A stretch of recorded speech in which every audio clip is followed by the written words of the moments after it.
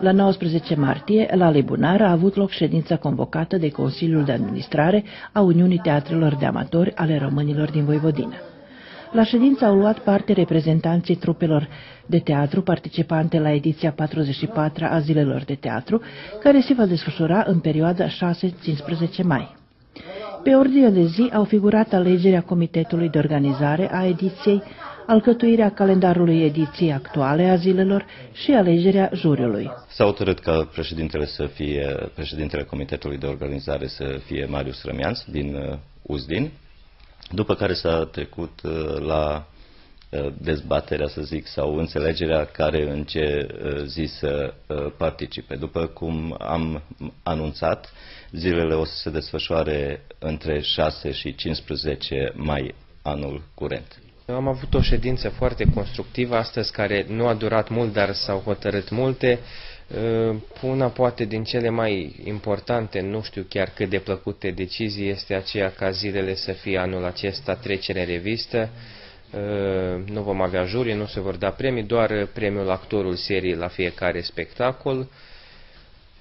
Poate că este bine și pentru ca să ne calmăm puțin. Noi români în general am început să, să ne luptăm prea mult pentru premii care sunt practic doar simbolice, ne însemnă nimic, este doar, durează două, trei săptămâni și pe urmă toată lumea uită.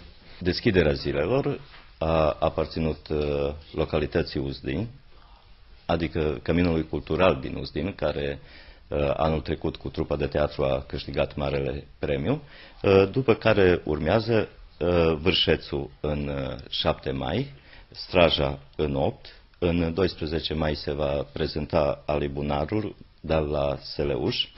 În 13 mai urmează trupa de teatru din Coștei, în 14 mai uh, Torac și în 15 mai închiderea care se va desfășura la Alibunar.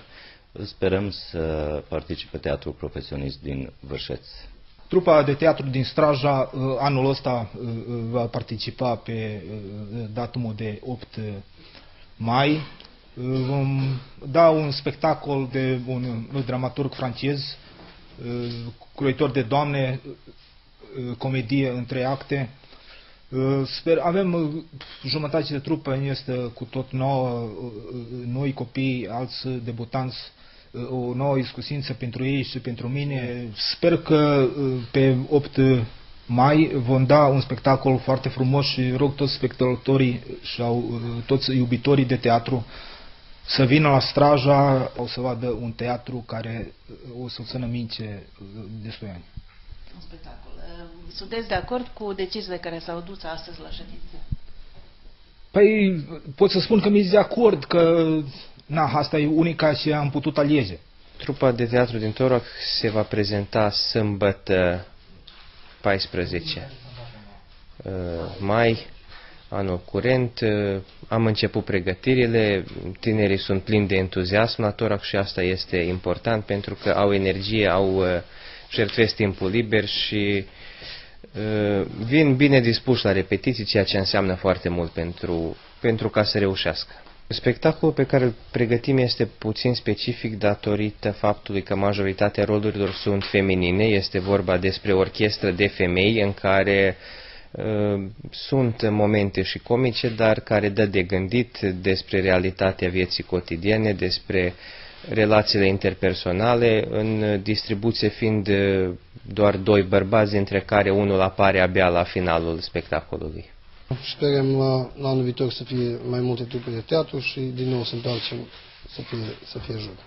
Deci în, în 15, în cadrul închiderilor zilelor de teatru, la închiderea zilelor va fi la, la Libunar. Uh, se va organiza și, și jubileu 20 de ani de, de existență a, a Uniunii. Acolo o să dea, o să dea um, diplome de, de participare la toate trupele care, care o să participe anul acesta și cred că va fi o masă rotundă la care să stăm să să discutăm. S-a publicat o carte, monografia celor 20 de ani ai Uniunii și vom sărbători și acest jubileu tot în cadrul închiderii zilelor de anul acesta.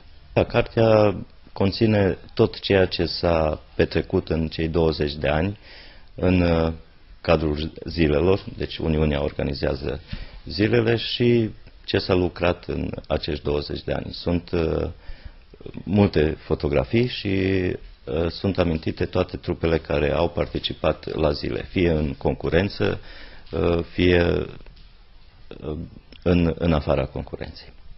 După cum am spus, la închiderea zilelor va fi lansarea acestei cărți, se vor da uh, unele mențiuni uh, acelora care au participat în, fie în cadrul zilelor sau în afară la propagarea teatrului la noi și fiecare uh, trupă care încă participă la zile o să, pe lângă oamenii care noi am considerat, deci din uh, Consiliul Administrativ, că merită să primească aceste uh, diplome, uh, fiecare trupă care participă și în zilele acestea la zilele de teatru uh, are dreptul să propună încă trei persoane iar uh, trupele care, din păcate, nu mai participă pot să propună încă o persoană. Deci, pe lângă cele propuse de Consiliul Administrativ al Uniunii Teatrelor.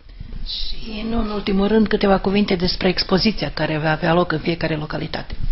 Anul acesta, prima dată, s-au uh, tipărit, să zic, uh, 10 panouri pe carton care cuprind ultimii 10 ani ai uh, zilelor de teatru și 13 tablouri pe pânză, uh, fiecare reprezintă câte o trupă de teatru care a participat la zile. Încurajează faptul că, în pofida multor dificultăți, teatrul de amatori rămâne un pilon stabil în promovarea culturii românilor din Voivodina și va uni și în viitor trupe de actori amatori din localitățile noastre.